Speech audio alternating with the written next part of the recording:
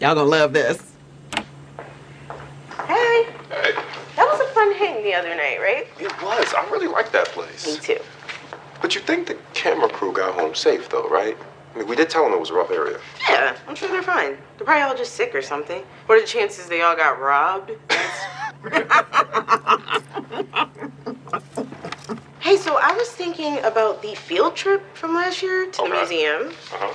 And particularly the part where you told me that you had feelings for me.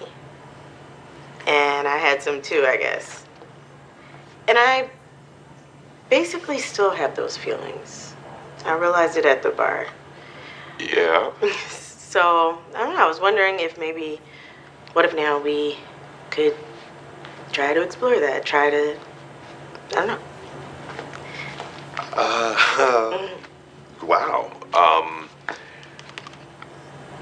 definitely didn't see that coming. I know. Me either.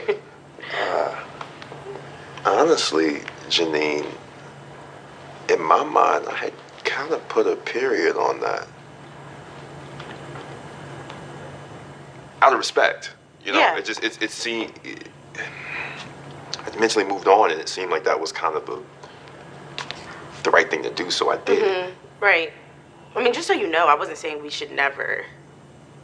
Okay, yeah, no, but like you know, even with you changing your mind right now, it just feels like it would be safer mm-hmm. for both of us mm-hmm. if we were just friends. Mm-hmm.